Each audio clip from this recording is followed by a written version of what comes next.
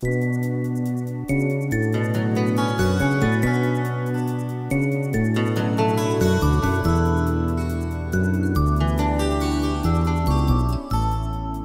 кто ж ты, наконец?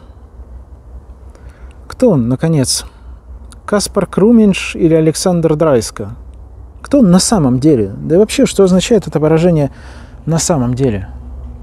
Какие мы на самом деле? Такими, какими мы являемся себе или каким мы являемся окружающим? Наше имя дали нам наши родители. Жизнь тоже. А вот что делать с этой жизнью – сообщается только весьма приблизительно. В отличие от психопатичного Достоевского с его претенциозным «тварь я дрожащая» или «право имею», вопросом, который выражает всю суть русской имперской культуры, писатели Латвии ставят совсем другой вопрос.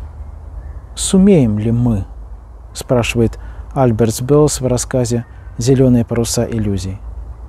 Сумеет ли он, спрашивает Зигмунд Скуинш в романе «Kailums».